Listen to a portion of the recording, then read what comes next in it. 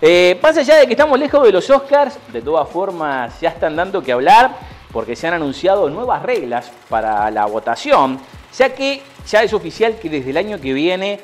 todo el mundo va a votar en la primera rueda para las películas animadas, cuando eh, hasta ahora de todas las diferentes categorías primero son votadas por la rama de la academia específica que pone los nominados y después todo el mundo puede votar para que salga el ganador. Pero ahora la diferencia, tanto con la mejor película del año como con película animada, va a ser que todos van a poder votar tanto en la primera rueda como en la segunda rueda. ¿Qué tan buena idea es este cambio? Bueno, eh, vamos a ver qué tanto sufre esta eh, diversidad de la cual se habla. Eh, yo tengo colegas que son mucho más especializados que yo en lo que tienen que ver con el cine art house, digamos, con películas pequeñitas y sobre todo películas pequeñas en el mundo de la animación. Y ellos están muy enojados con este cambio porque dicen que todas las grandes eh, producciones de los estudios, estas grandes películas multimillonarias, van a tener la ventaja simplemente por una cuestión de, de poderío, de marketing, de exponer sus películas eh, por encima de otras películas pequeñas que son distribuidas en Estados Unidos, en Los Ángeles, por micro, micro agencias de PR que tenían hasta ahora simplemente la misión de llegarle a ese pequeño puñado de personas que conformaban la rama de animación dentro de la academia, que estaban encargados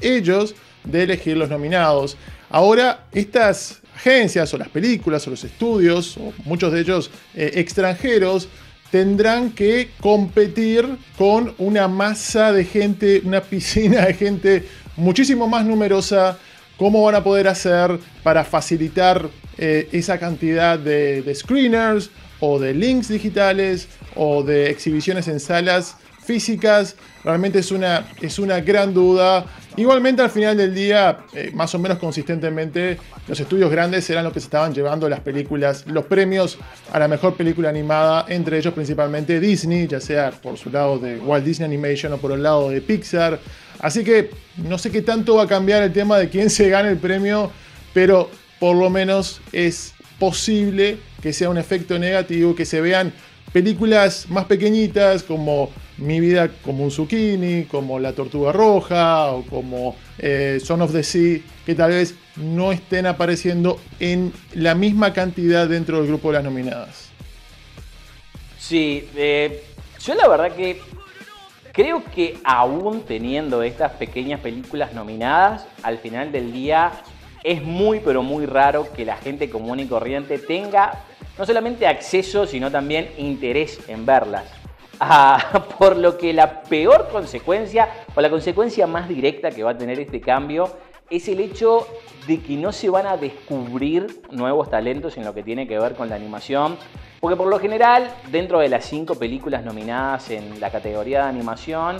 hay una o dos que son de países como Francia, Japón o hace poco tuvimos una de Brasil. Y si bien creo que una o dos veces terminaron ganando. Por ejemplo, creo que el primero terminó siendo para, una película de Japón, pero la gente no las ve. Entonces, el hecho de que no las conozcan, eh, me parece que no tiene mucho sentido ponerlo en una ceremonia tan mediática como esta, pero a su vez, por no estar acá, también se le cuarta la posibilidad a los estudios para descubrir estos talentos y que después de ver estos productos que son buenos, más allá de que no se han visto por mucha gente, capaz que después gracias a eso terminan teniendo oportunidades en cosas más importantes. Pero la buena noticia, como digo, es que capaz que a través de este cambio todas las grandes películas de animación van a terminar nominadas y va a haber más interés en ver la ceremonia, porque por ejemplo, este año Buscando a Dory no fue ni siquiera nominada a Mejor Película Animada, cuando al día de hoy es la novena película más taquillera de todos los tiempos a nivel doméstico en Estados Unidos. O sea que a toda la gente que miró esa película y le gustó, capaz que va a ver la ceremonia simplemente para poder hinchar por ella. Y si bien yo no, o sea, no sé si estoy demasiado de acuerdo con este cambio, pero en el caso de que se haga este cambio y se tienda esta política, Creo que lo otro que también habría que hacer es sacar a los cortos de esta premiación, porque a esos productos creo que hay muchísima menos gente que también ni tiene interés ni tiene acceso para poder verlos y podrían ponerse en otra premiación como la técnica o algo así o inventar una donde se pongan estos premios este, menores y reemplazarlo por el mejor director de casting, que es una rama que se creó en el 2013, si no me equivoco, dentro de la academia. Al día de hoy todavía no tiene su premio y como siempre la ceremonia está media apretada ah, en lo que tiene que ver con, la hora de, finalización. Yo creo que sacar los cortos de acá y poner un premio a mejor director de casting puede traer muchísimo más interés, porque eso va a querer decir que mucha más gente importante, porque los castings son lo que hacen este, los, los repartos, o sea que va a haber muchas más caras conocidas que traigan interés a la ceremonia. Es verdad que el hecho de sacar películas animadas nos van a sacar el interés eh, o la posibilidad de descubrir productos como vos dijiste, esta de en mi vida como un zucchini que no la vi, pero la tortuga roja, por ejemplo, sí me encantó y nunca lo hubiera descubierto si no fuera que estaba nominada. Así que creo que hay cosas buenas y hay cosas malas, pero creo que tendrían que mantener la coherencia y si bien este es un cambio que, están haciendo, tendrían que entender también al otro para que más gente se interese en ver la ceremonia, que los ratings siempre son los que hacen la diferencia.